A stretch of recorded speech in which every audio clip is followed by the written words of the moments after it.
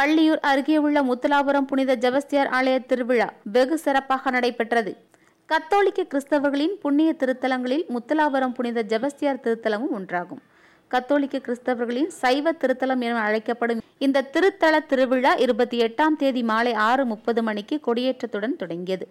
புனித ஜெபஸ்தியார் உருவம் பொறிக்கப்பட்ட புனித கொடியை திசையன் விளை திருத்தல அதிபர் ஜோசப் கிறிஸ்டியான் சாத்தான்குளம் வட்டார முதன்மை குரு ஜோசப் ரவிபாலன் காமநாயக்கன்பட்டி திருத்தல அதிபர் அந்தோணி குருஸ் ஜெபம் செய்து கொடி அர்ச்சித்த பின்பு தர்மஹர்த்தா கொடியேற்றினார். தொடர்ந்து திருவிழா பத்து நாட்கள் நடைபெறுகின்றது.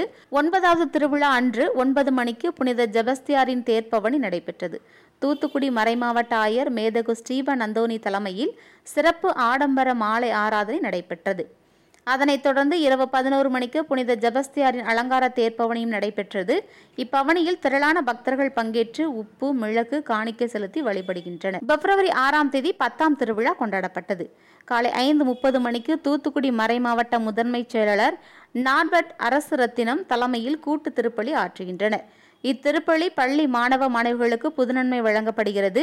மதியம் பதினோரு மணிக்கு திருமுழுக்கு பின்னர் ஆறு மணிக்கு நற்கரணை ஆசீர் மற்றும் கொடியிறக்கத்துடன் திருவிழா நிறைவு பெற்றது. திருவிழாவிற்கான ஏற்பாடுகளை கோவில் தர்மகர்த்தா அருள் ஜபஸ்தியான் கணக்கர் கணக்கர் பாஸ்ரின் அந்தோணி தேவதாஸ் பங்கு தந்தை டெனிஸ் ராஜா முத்துலாபுரம் இறைமக்கள் சிறப்பாக செய்து வந்தனர்.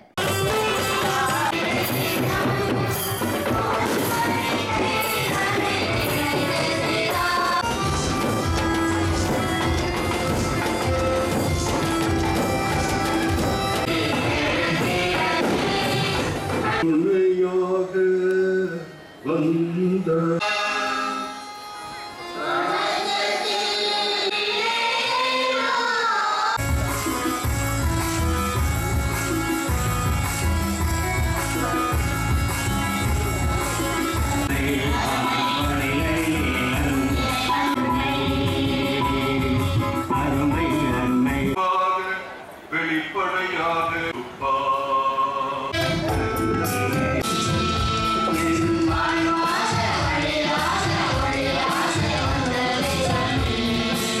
இறந்த திருமுழுக்கு யோவான் உயிருடன் எழுப்பப்பட்ட